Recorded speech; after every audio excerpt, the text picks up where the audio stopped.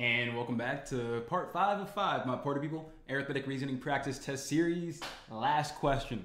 This one, if you were in my class last week, you saw this question and it might have been a little frustrating. So I'm gonna take the time to cap it off here with this one so that way you can learn how to set the problem up and understand the nuances like we've been doing all series here, understanding the nuance of converting the English into math. That's what we wanna do. So let's go ahead and get started, everybody. Here we go. Right over here, read the question. What is Beth's running speed in feet per second? Right there, nice and easy. So let's keep it easy, right? We want to know Beth's running speed in feet per second. So I'm going to say right over here, Beth's running speed. And since her name is Beth, I'll just go ahead and use the letter B. I'll say equals B feet per second. Okay? We'll just say again, the letter B stands for Beth's rate.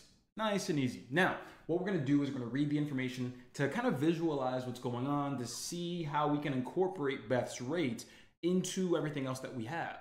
Hmm, let's check it out. So, what we have here is two runners, Alex and Beth, start running toward each other from opposite ends of a straight track. Okay, so let's just make sure we kind of diagram that thing. We have a track, so two ends. We have Alex and Beth. So here's Alex, here's Beth. Alex is going towards Beth, and Beth is going toward Alex. Okay, cool. Again, just visualizing, right? Just visualizing. Next thing that I see here, it says the track is 880 feet long. Okay, so let's make sure we write that total distance. So from here all the way to here is going to be 880 feet. Again, all I'm doing is writing down my information so I can make sense of this once the time comes. So next up, over here it says then Alex runs at a constant speed that is two feet per second faster than Beth's constant speed. Hmm, that can be a little tricky to digest. So allow me to highlight that right there. I'm just gonna highlight that. We'll come back to that in a moment. And then up next, we see that it says they meet after exactly 40 seconds of running. So they run towards each other from opposite ends of the straight track the time that they're running toward each other at is going to be exactly 40 seconds. So we can say that the time period that we're dealing with, time equals 40 seconds. We also have the distance right there as 880. Now, my party people, you know that the answer we're looking for is in feet per second. So it sounds like we have everything we need to get this done, right? It sounds like we might have everything we need. However, we have to really interpret this right here in gray. Alex runs at a speed that is two feet per second faster than Beth. How do we actually write that down? Well, when you consider everything that's going on, we have a distance rate time question where we have two subjects or objects moving in opposite directions. If we're going toward each other, remember, that's opposite directions.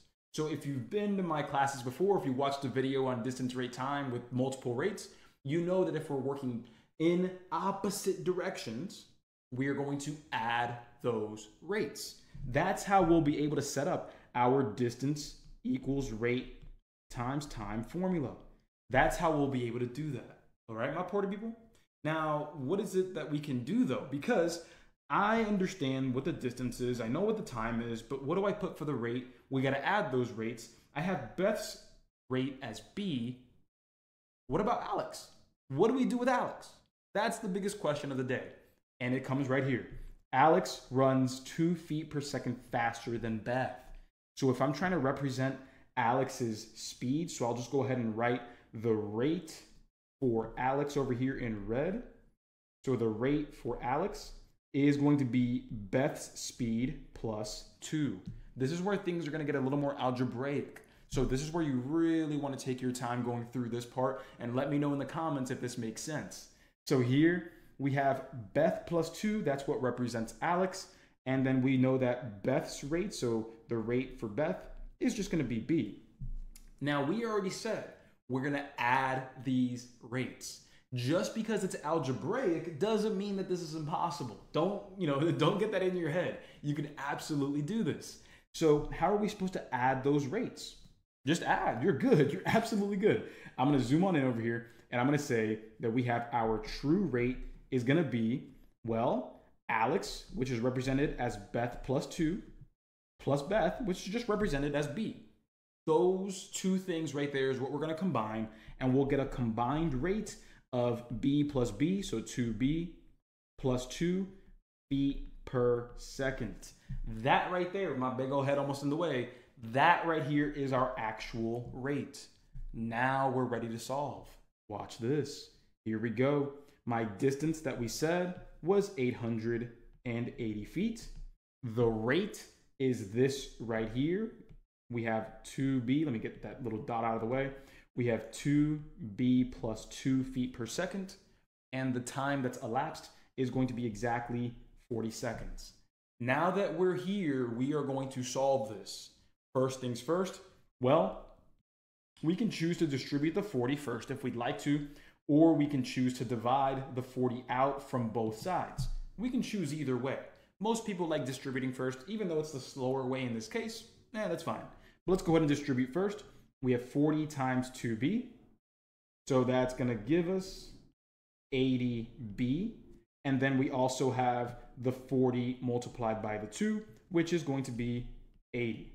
So now that we're here, the next thing we'll do is we'll go ahead and subtract 80 from both sides. Booyah right there. Cancels out on the right side. We have 800 equals 80b. And so the last thing we need to do here is divide both sides by 80. So once we do that, my party people, divide both sides by 80, right here and there, cancels out on the right side. We will get Beth's rate, let's write this in green. Beth's rate is 800 divided by 80 is 10. 10 feet per second. That's exactly what we were looking for. We've got our answer, and that makes the final answer here be 10 feet per second. So, my party people, as always, if you enjoyed this, go ahead, just do us a quick favor. Follow us on this channel, comment on this specific video, letting me know how far you were able to come through on your own and how much we helped you thereafter. And then as always, this is the end of our arithmetic reasoning practice test series. So we look forward to making more series just like this. It just depends on your say.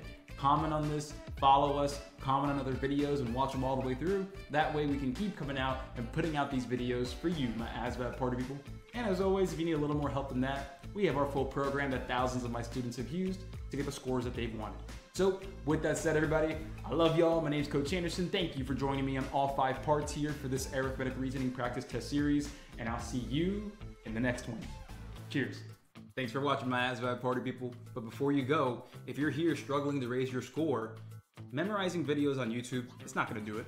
What you wanna do is join my full program. That way we can help you watch, practice, and master every single step of the way until you get the score you want. It's your career, take it seriously, and that's what I'm here to do. So with that said, my party people, go ahead, reach out to me. There's my phone number right there. Text me, ask me about the program, and I'll show you how to ace the ASVAB.